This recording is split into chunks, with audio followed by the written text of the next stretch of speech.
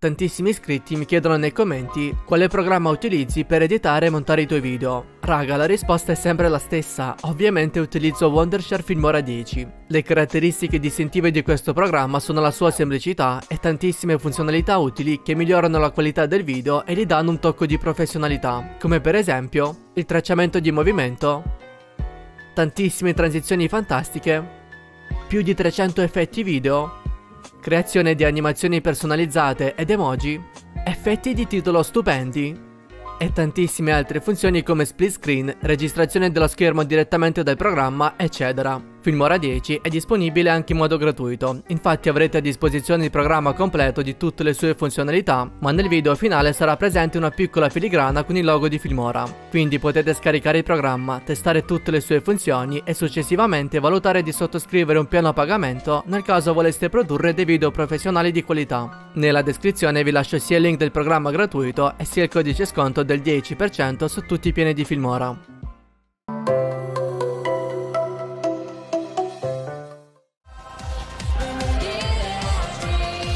Pezzo forte. Oh sì, il fantomatico pezzo forte scomparso che riesce per magia a disattivare il Kragol. Lord Business racconta la profezia del pezzo forte e dello speciale nonostante Vitruvius la conosca già. A quanto pare giusto per informare lo spettatore al cinema.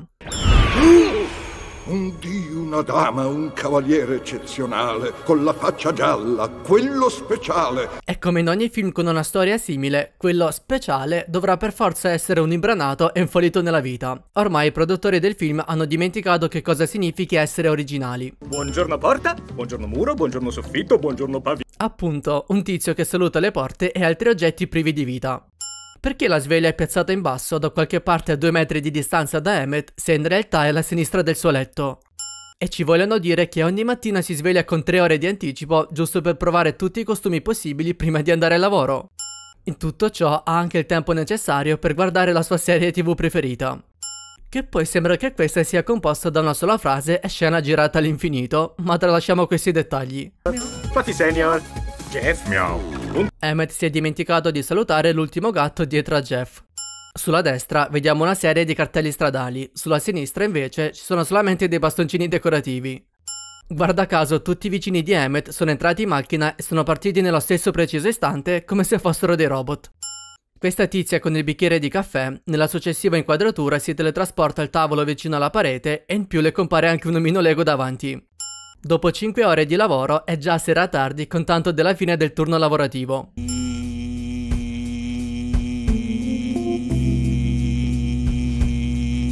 Credo che questa scena duri un po' troppo per essere considerata divertente. Il pezzo forte viene illuminato da un proiettore di luce artificiale giusto per fare più effetto.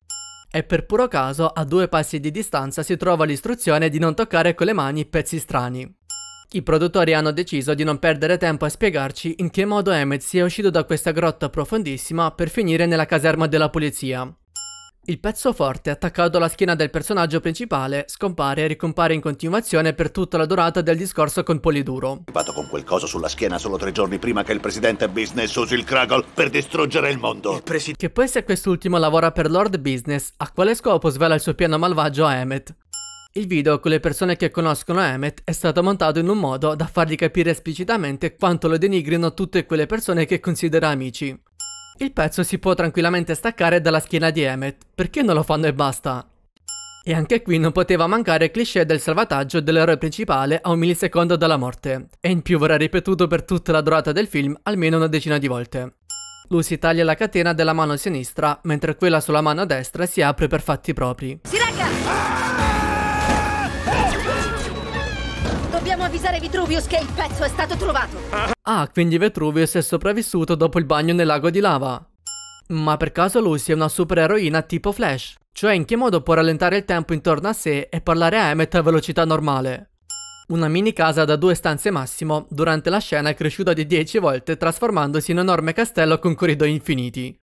Il portale dista qualche metro, ma in tutto ciò passano quasi due minuti interi con tanto di interrogatorio esaustivo prima che ci arrivino.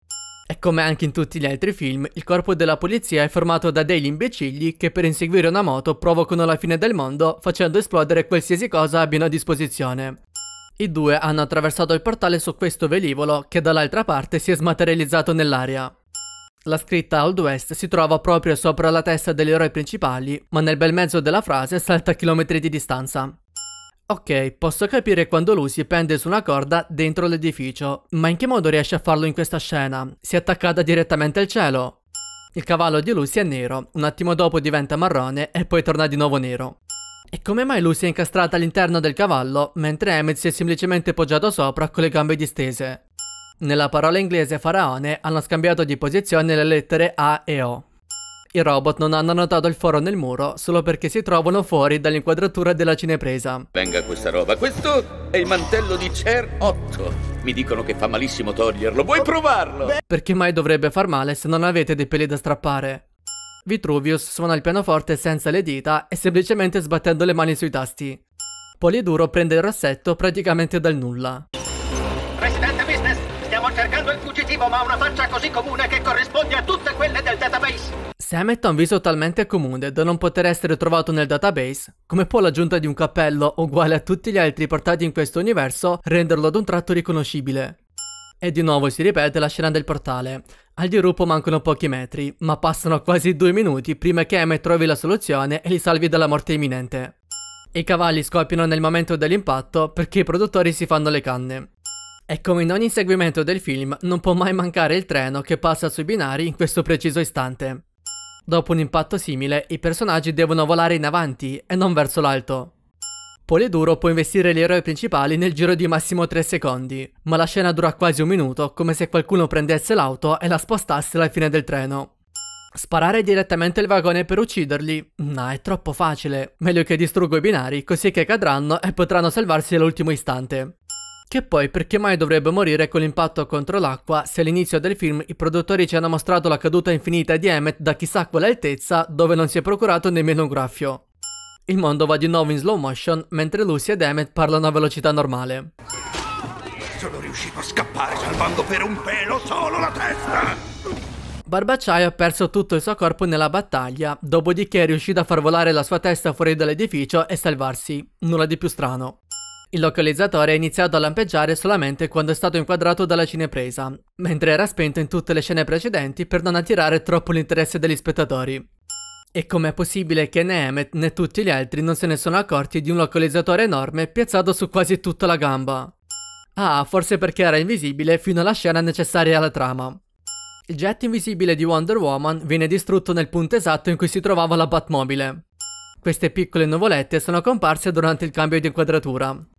L'acqua è formata dalle stesse particelle Lego come tutti gli altri elementi del film, ma dall'interno invece ci mostrano l'acqua del nostro mondo. La logica non esiste. E queste bollicine non dovrebbero essere sempre di Lego, cioè persino il vapore è quadrato, perché mai gli elementi cambiano di proprietà nel corso del film?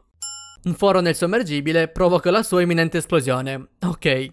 In che modo i personaggi Lego si sono nascosti all'interno del divano se questo è tre volte più piccolo del loro corpo?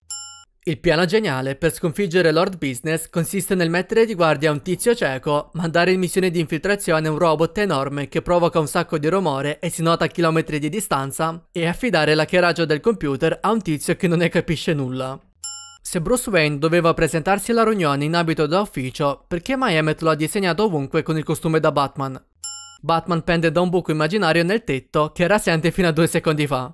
E perché il suo mantello non penzola verso terra come sulla nave di Barbacciaio? Vitruvius ci mostra l'abilità di combattimento di Bruce Lee, nonostante l'inizio del film fosse un semplice vecchio incapace. Profezia. L'ho inventata io. Cosa? L'ho inventata. Non è vera. Ma allora cosa stava a significare quella serie di flashback che ha visto Emmett nel momento in cui ha toccato il pezzo forte? Tutti i personaggi Lego si muovono per fatti propri, quindi il fantasma di Vitruvius pende da un filo, dato che il regista non voleva che il film avesse alcun senso logico. Lo stesso astronauta che non era in grado di usare il computer fino a 10 minuti fa, ora diventa un vero hacker solo perché serve per la trama. Da quel che sembra, la vita di Emmett veniva sempre registrata da una cinepresa e un cameraman che viveva praticamente nel suo appartamento. Ciò vale anche per le scene del film, riprese da qualche cinepresa piazzata in mezzo al mare. Questo abitante della città fu bloccato dalla colla e inquadrato su tutto lo schermo proprio qualche minuto prima. Non mangiarmi, ti prego! Ciao, Emmet. Perché lo saluta come se lo vedesse per la prima volta se l'ha animato per tutto il film? Non appena Emmett finisce nel mondo reale, nel preciso istante anche il padre del bambino è entrato nella stanza giusto per non perdere troppo tempo in vano. A quanto pare era troppo difficile girare il film con la stessa figurina di Emmett e quindi hanno deciso di usarne più di una con chiare differenze di qualità. Qui non so cosa abbiano deciso di far capire i produttori. Praticamente un omino Lego che si muove nella vita reale. Cioè, tutto il film era basato sull'immaginazione del bambino e i movimenti erano opera della sua fantasia. Perché mai d'un tratto ci mostrano la scena dove i personaggi Lego si muovono per fatti propri nel mondo reale. Tutto ciò non ha un minimo senso. Che poi il padre ha girato la testa quando Emmett si mosse un po', mentre quando questo inizia ad avere degli spasmi non ci pensa nemmeno di guardarlo. Finn mette il pezzo forte nella mano destra di Emmet, un attimo dopo salta nella mano sinistra.